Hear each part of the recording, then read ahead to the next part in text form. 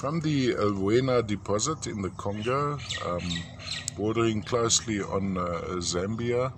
Not very large, yet lovely form. Uh, honey yellow um, citrine, natural, absolutely natural citrine. So these haven't been baked or treated in any way.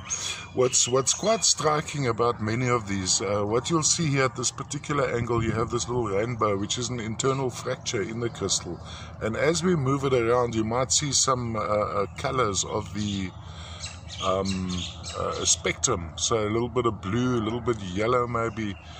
Um, it's just going over here. Also, often we find when you have a close look, now I can't see uh, at this stage, but uh, sometimes you see almost a little phantom inside the crystal. So if you look at this particular angle, um, from a form point of view, quite a lovely piece. Little guy sitting at the bottom. Of course, the Kundalini citrine quartz, uh, some esoteric properties to this healing properties and absolutely natural.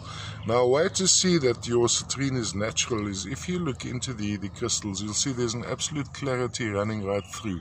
Whereas on the on the treated or baked citrine, you'd have a almost a broken glass effect as you look into the crystal, of course, uh, uh, caused by the baking process all the way from the, the Congo, Lwena deposit in the Congo. There's even some little crystals growing on the side here that go across like this. So there's a formation right through. Also quite interesting Lemurian is running across the side.